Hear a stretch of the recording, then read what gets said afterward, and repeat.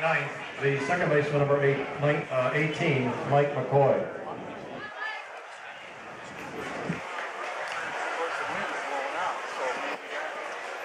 Thank you.